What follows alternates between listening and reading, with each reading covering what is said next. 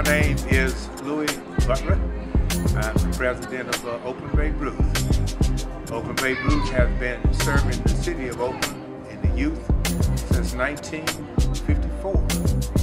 Uh, we also have a Cal Ripken program that serves ages 4 through 12. We have an RBI program that serves youth ages 4 through 18.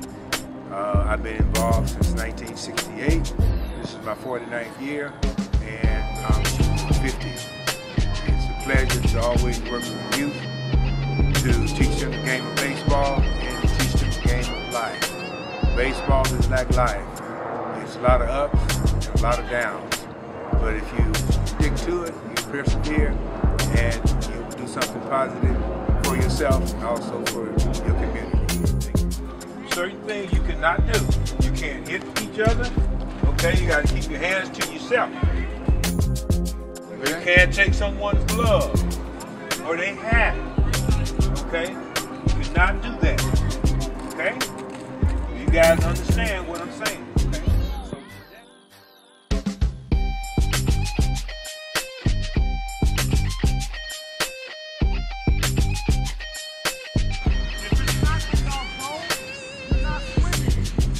about having play discipline.